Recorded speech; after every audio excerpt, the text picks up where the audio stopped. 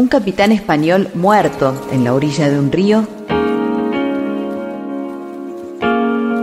entrega su nombre al río.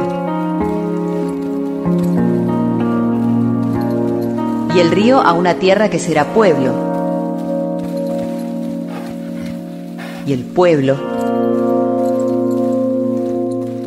a una virgen, que será la patrona de lo que siglos más tarde será un país.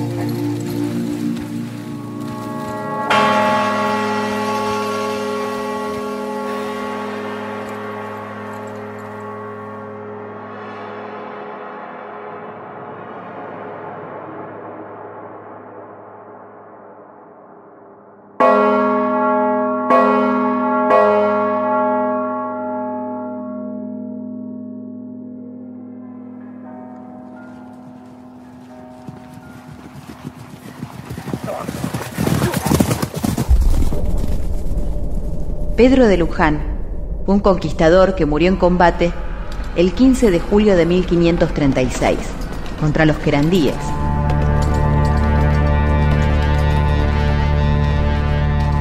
La leyenda, que siempre está paganamente bendecida por la devoción popular, asegura que el español fue trasladado muerto por su caballo a la ribera del río que hoy lleva su nombre.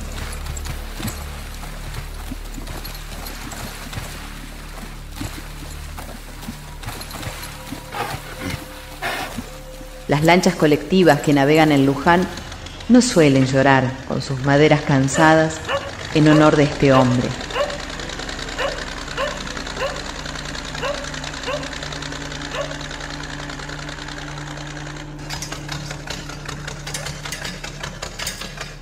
Tampoco los puentes, hechos de los fierros de todas las intemperies y las espectrales pulperías que aún sobreviven a la derrota de Juan Moreira. ¡Ave María Purísima! Impecable, impecable. ¿A qué se debe esta suerte? Que no es suerte, es desgracia. Por cierto, la pulpería del puente, a la vera del río Luján, atesora como documento el pedido de captura original del mítico gaucho. ¡Acá está Juan Moreira, mierda!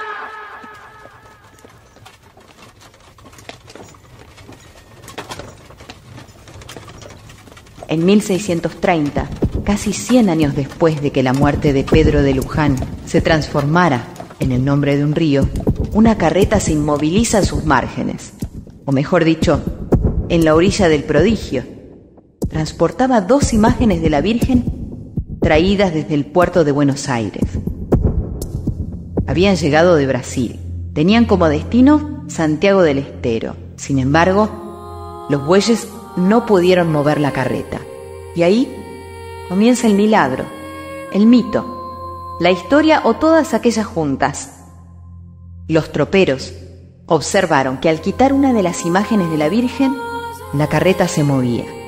Comprendieron que esa diminuta imagen quería quedarse allí, en el país del río Luján. Esos paisanos jamás imaginaron que esa escena sería el principio de peregrinaciones, ofrendas, tampitas desesperadas, ermitas en rutas, estaciones de trenes y ranchos, tatuajes en los brazos de los condenados, retratos en camiones y hasta en los cascos de soldados en Malvinas y nada más y nada menos que el comienzo de la patria de la fe.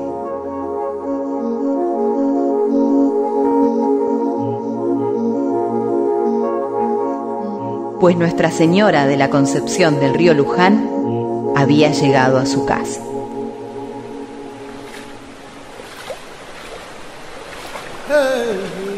Bernabé González Filiano,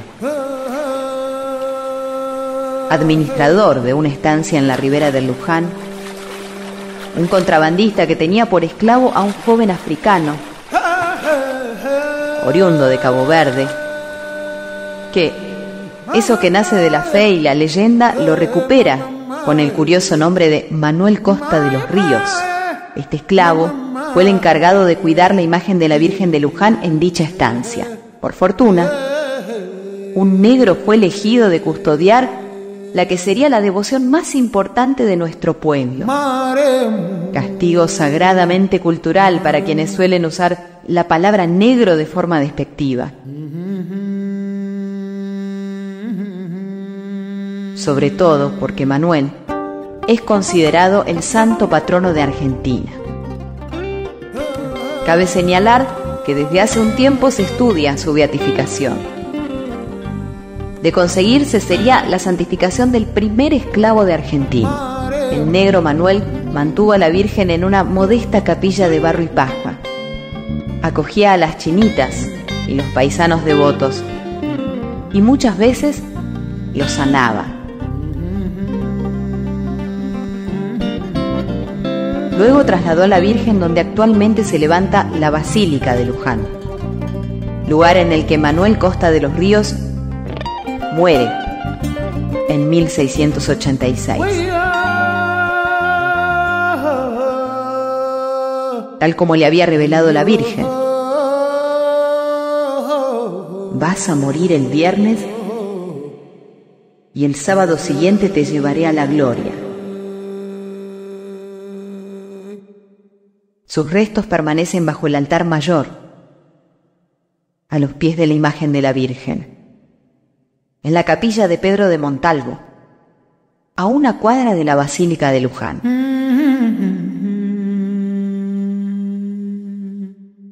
El color café con leche de Luján, típico de nuestros ríos de llanura, tiene algo del negro Manuel. Dicho color inspiró al pintor Sul Solar quien decidió vivir sus últimos años en su ribera, en su casita taller, a la que bautizó Li Tao, por Lita, su mujer y en tributo al taoísmo. Desde allí pintó en Luján, conversó con él, intercambiaron colores, rudestadas e inundaciones.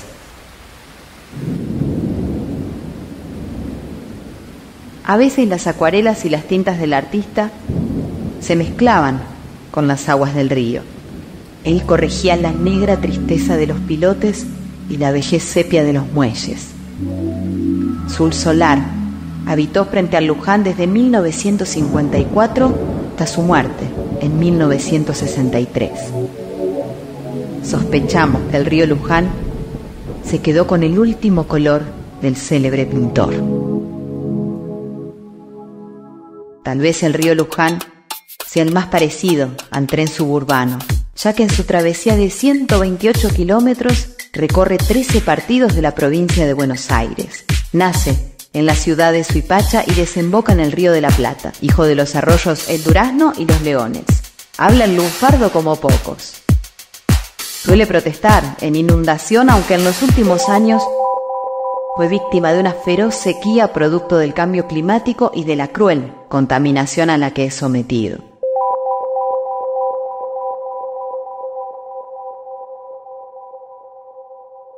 El río Luján fue cuna de milagros divinos. ¿Acaso será tiempo de que nos inspire milagros humanos y cuidemos sus aguas, sus islas, su alma de arriero de nuestra historia y nuestra fe?